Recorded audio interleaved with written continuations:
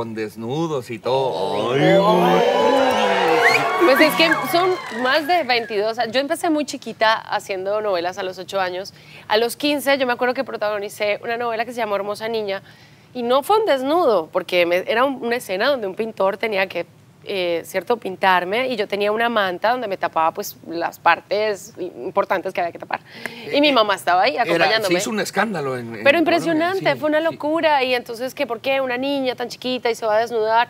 Y me- yo estudiaba en un colegio de monjas, me sacaron del colegio de monjas. O sea, realmente fue algo muy fuerte donde yo me sentí como, ¿por qué? Si eso hace parte de mi trabajo, no estoy haciendo nada vulgar, no estoy haciendo Pero nada eras que muy no es- chiquita. Pero era, bueno, era, tenía 15 años.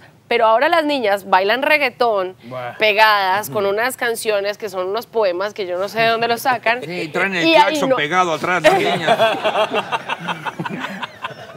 Tal cual.